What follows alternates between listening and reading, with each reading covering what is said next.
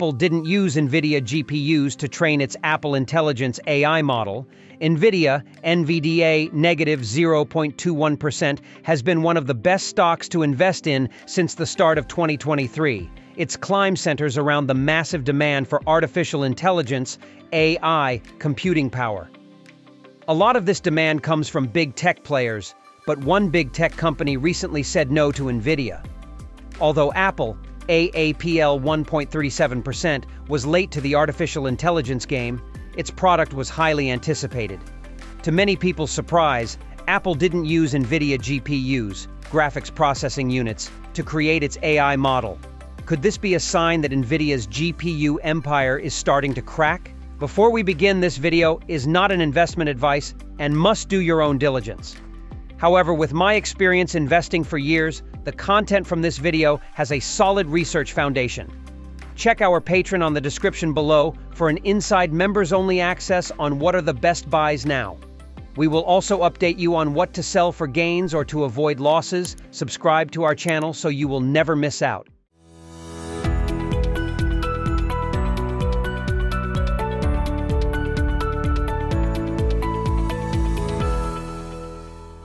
GPUs have been the most popular option for training AI models. NVIDIA's GPUs have become incredibly popular for running AI workloads. NVIDIA's GPUs are best in class, and it has industry-leading software available to help squeeze out every bit of performance from the GPUs. This is important as these servers that run AI models contain thousands of GPUs.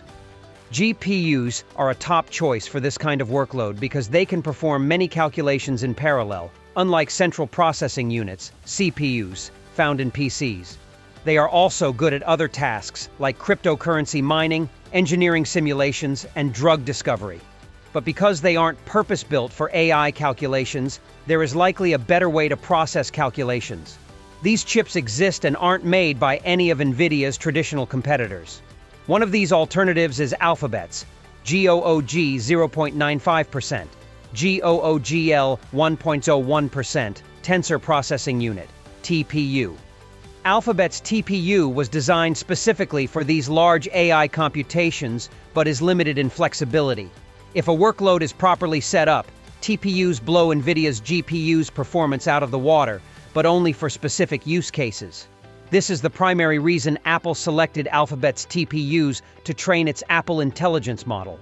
Does one of the largest players in the industry selecting purpose-built hardware rather than a broader one signify the end for NVIDIA? NVIDIA's investment thesis hinges on customers buying more GPUs. Part of the reason some investors, like myself, are hesitant to buy into NVIDIA's stock now is the extreme growth expectations built into the company. Anyone buying the stock now assumes that the demand for NVIDIA's GPUs will continue to grow significantly. However, they don't consider the possibility that once developers are used to setting up their AI models in a particular way, they may choose to use purpose-built hardware like the TPU.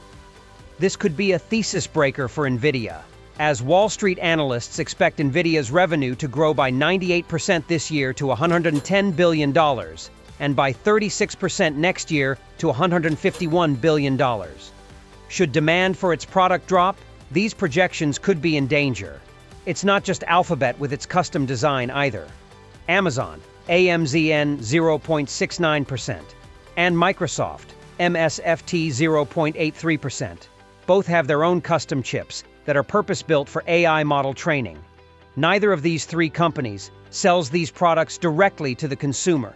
Instead, if clients want to access them, they must rent them through one of their cloud computing offerings. This is a better long-term business model than NVIDIA's, as once NVIDIA sells its GPU, the only revenue it will get is from customers deciding to upgrade or replace the unit after its service life is complete. Cloud computing companies buy hardware and then rent the power to clients on a recurring basis, extending the value they can get from one unit. Still, all three cloud giants' data centers are filled to the brim with NVIDIA's GPUs, and they're all buying more. So, while there may be better ways to train AI models, many companies are still training on GPUs. Time will tell whether this trend reverses and more companies train AI models like Apple did, or GPUs for broader use continue to dominate.